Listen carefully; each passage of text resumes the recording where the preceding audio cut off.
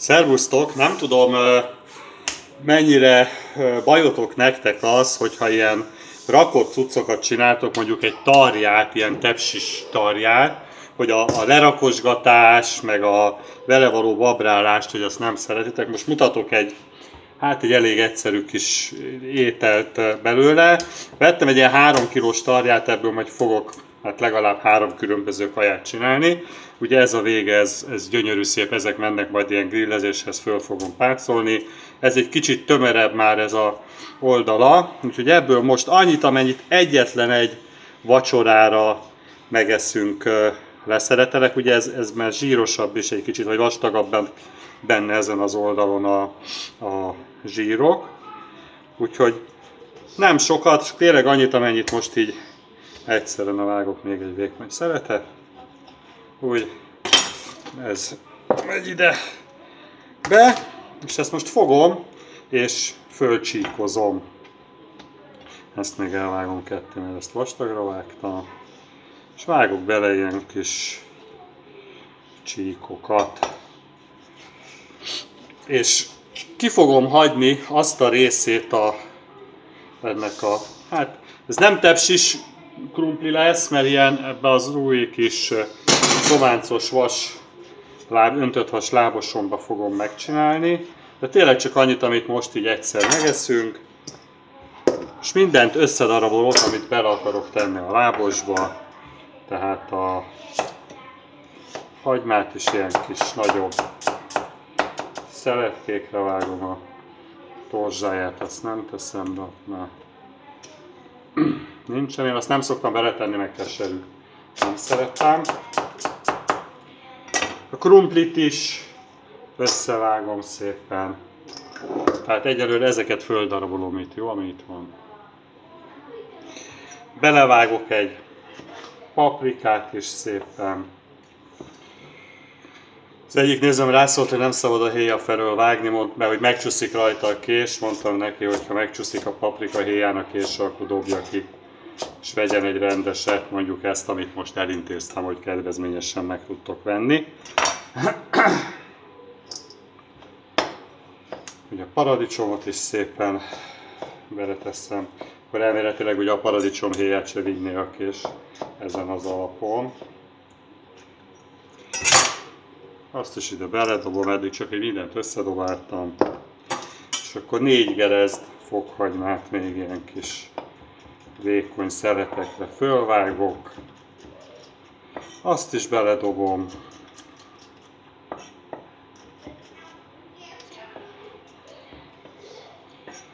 Azért figyelek, hogy túl nagy falat nem maradjon belőle, mert azért egy helyen nem jó. Teszek rá egy csipet szárított rozmaringot, de csak egy ilyen kis csipettel, teszek le egy csapott teáskanál sót, teszek rá borsot, őrölt borsot. Ezt, aki szereti, lehet kicsit bátrabban, mert az ilyen kajáknak jól áll, de már szerintem így összedobálva is tök jól néz ki. És rakok bele egy kevés fűszerpaprikát.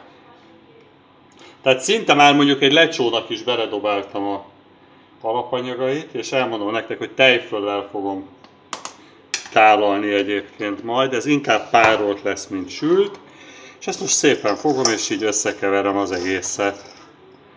Tehát ezt ahelyett, hogy azzal szórakoznék, hogy rétegenként lerakom, ezt így fogom, és így szépen jól összekeverem. Zsíradékot direkt nem raktam rá, mert ugye a tarjából fog kisülni zsír, plusz úgy fogom betenni, mert hogy én ezt most berakom egy 200 fokos sütőbe, egy ilyen 1 és 1 negyed órára első körben akkor nézek rá, hogy jó-e, de szerintem maximum másfél óra alatt jó lesz, de lehet, hogy, hogy hamarabb. Ezt most így összekevertem.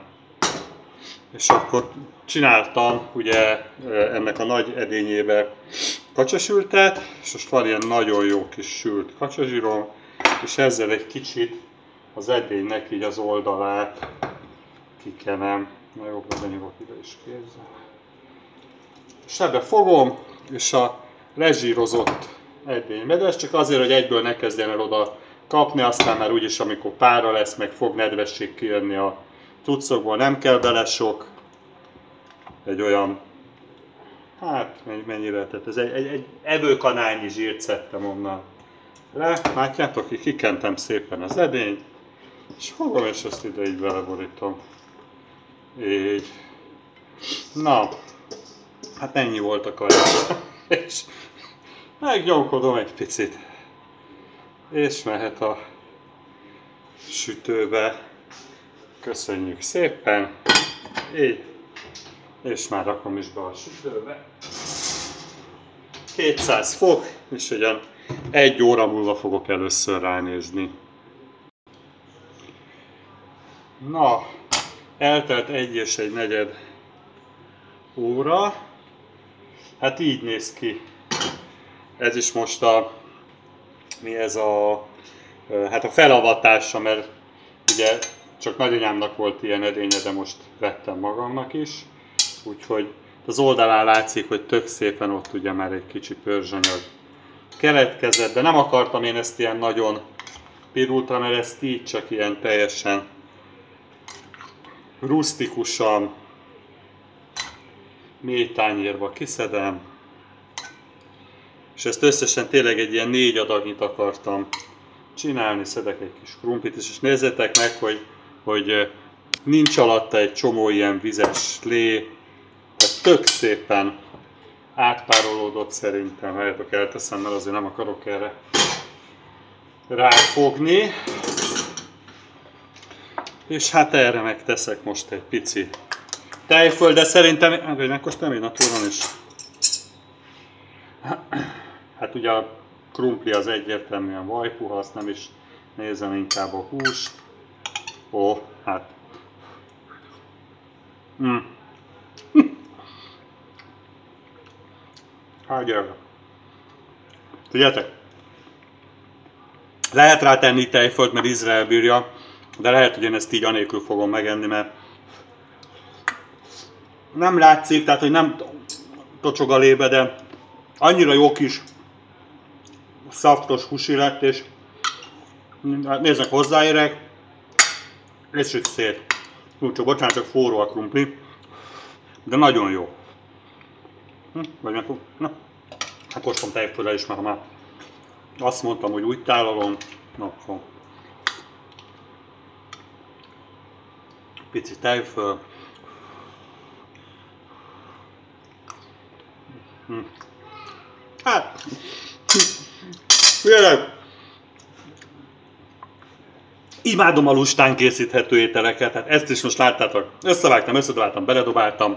Ha nincs ilyen öntött vas zománcozott edényetek, akkor uh, egy ilyen fedeles valamilyen sütő edénybe vagy fólia alatt ugyanúgy egy, egy tepsibe meg lehet sütni, de ebbe ugye ebbe a vastagforró öntött vas edénybe. Azért sütöttem 200 fokon, mert hogy itt, itt az egész ilyen, ilyen kis kemence feelinget ad neki, de mondom, már nincs, annélkül is meg lehet, nagyon jó lett. És alig van benne ízesítés, fűszer, tök egyszerű, összedobáltam, bedobott, negyed órát csak foglalkoztam vele, és kész van a vacsora. Na, úgyhogy bátran, ez is nagyon finom lett. Jó étvágyat kívánok hozzá, jó főzés, könnyű kajákat, sziasztok!